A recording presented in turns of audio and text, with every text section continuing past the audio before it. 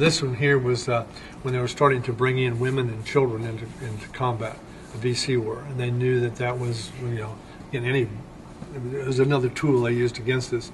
And we had this, this we came along this road, we were sitting there, and um, uh, we were waiting for orders to move or what we were going to do, and these children were over on this, a couple kids, and then the Waters Buffaloes were here, and she kept looking over at us, kept looking at us and looking at us, and she had that poncho over. It was just rain, it just rained and stuff like that, and she kept the poncho, and she kept moving, and she kept looking, and and so I slid down inside the gun turret and locked in on with the M6, uh, M30 on her uh, uh, position, you know, looking at it to see if she was going to do anything real squirrely, you know, type thing, and pull something out and uh, or come closer, try to come closer, and so that's when, uh, and then we got the orders to move out, and then that we pulled away and, and left, and that was uh, that was pretty spooky. What, what were you saying to yourself over and over again when you were what, when how, how long do you think you were locked in on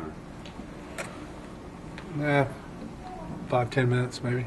And what were you saying to yourself over and over again while you were locked? She's only uh, she's she's uh, she's the enemy, or she's the enemy, or something like that. It was just I could put it on there. Uh, don't uh, don't think good thoughts. I wasn't- was trying not to think of her as a as a kid. You had to think of her as a an enemy, and to think of it. That's what they on the ship they tell us too.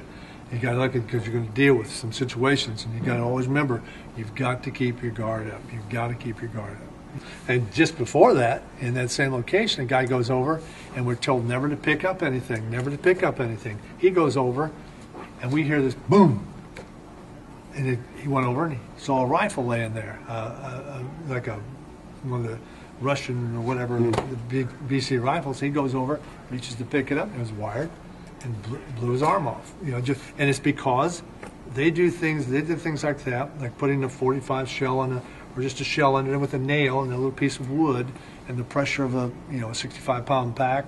You know, and the pressure of weight, you know, going on like that, and it blows a hole in the foot, slows down that platoon, slows down that company, and that's what that happened there. That kid blew his arm off. He was with an infantry unit attached to us, and we we give him a load and we take off in another direction.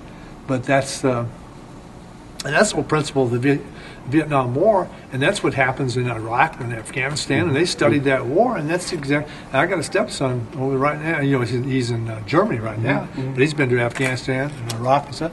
And the stories we compare and talk, that's what they that's what they do. And it's just door to door. The whole the whole this is the whole thing is just uh, like jungle warfare type stuff.